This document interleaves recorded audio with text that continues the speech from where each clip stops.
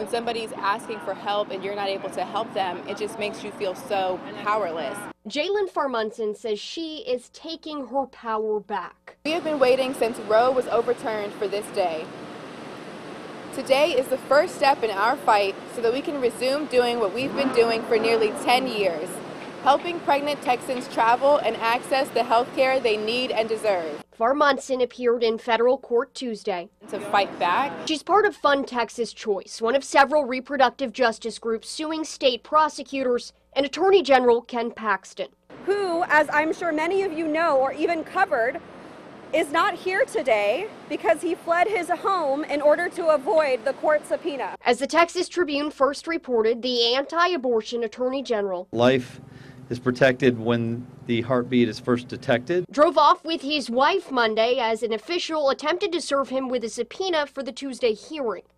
In that hearing, the reproductive justice groups who have had to stop or severely modify their work involving abortions stated their constitutional rights are being suppressed. Overzealous and out of touch government officials have wielded their power to infringe on the rights of Texans to free speech, free association, the right to travel freely, and to petition the government for redress. Abortion funds are now defending these fundamental constitutional rights that are under attack. A legal complaint shows the groups want to resume funding abortions for Texans in states where the procedure remains legal. They're also seeking approval to provide transportation and information.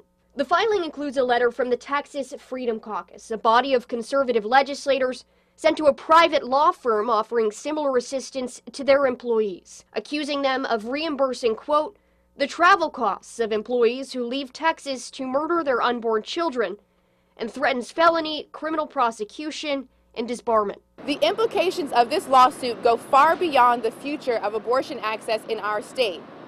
This lawsuit will set a precedent for the future of the constitutional rights of interstate travel, free speech, and association. Shannon Ryan, Fox 7 Austin News.